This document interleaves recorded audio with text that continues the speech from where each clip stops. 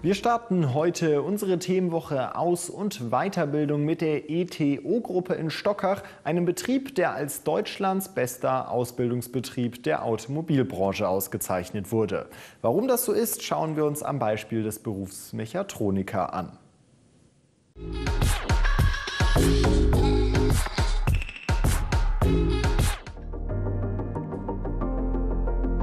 Aus mechanischen und elektronischen Komponenten komplexe mechatronische Systeme bauen.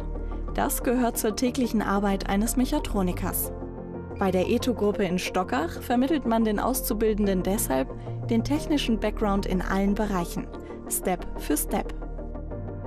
In der Lehrwerkstatt bekommt er alle Grundfertigkeiten ähm, vom mechanischen Bereich bis hin zur Elektrotechnik, Automatisierungstechnik und dann ist ab dem zweiten Lehrjahr ähm, sogenannter Abteilungsdurchlauf geplant. Das heißt, er kommt in jede Abteilung bei uns in der Firma, zum die Firma kennenlernen und aber auch ähm, den Ausbildungsberuf selber, was er später in den Abteilungen damit machen muss.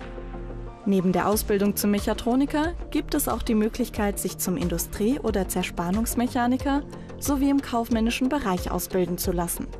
Weil die Ausbildung einen sehr hohen Stellenwert hat, investiert man hier regelmäßig in die Zukunft. Gerade heute ist es so, dass das äh, Marktumfeld sich so stark entwickelt, die Technologie, autonomes Fahren, Elektroantriebe, es passiert so viel gerade Internet of Things, dass es eigentlich nicht reicht, mal eine gute Ausbildung gemacht zu haben, sondern wir wollen die Leute sehr gut qualifizieren, aber dann vor allen Dingen auch begleiten auf dem Weg. Und wir haben uns so zum Ziel gesetzt, dass jeder die Chance hat, bei uns das in sich äh, äh wach zu rufen, was in ihm steckt.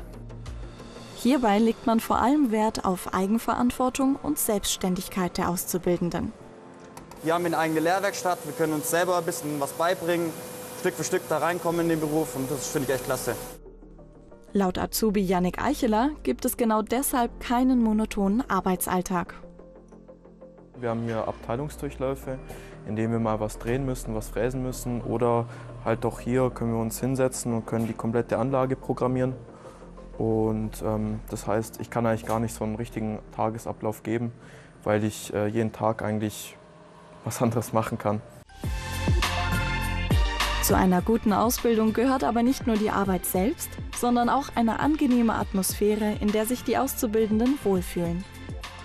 Die ETO ist sehr fortschrittlich und ähm, das hat mich einfach total angesprochen. Die sind alle total freundlich hier. Eine Freundin von mir hat auch in der Produktion draußen gearbeitet, hat gemeint, ja, fang doch bei der ETO an, das läuft gut hier. Wir sind hier eine große Familie, wir sind hier 60, 70 Azubis, hier ist immer was los, ist immer Rambazamba und ja, ist echt toll. Aber da freut man sich morgens auch drauf, zum Arbeiten zu gehen. Motivation, Freude an der Technik und Teamfähigkeit sind Grundvoraussetzungen für die Ausbildung bei der ETO-Gruppe. Genauso wie eine gute bis sehr gute mittlere Reife. Der berufliche Einsatzschwerpunkt des Mechatronikers wird darauf liegen, den Planeten lebenswert zu erhalten und das Leben der Menschen sicherer, komfortabler und effizienter zu machen.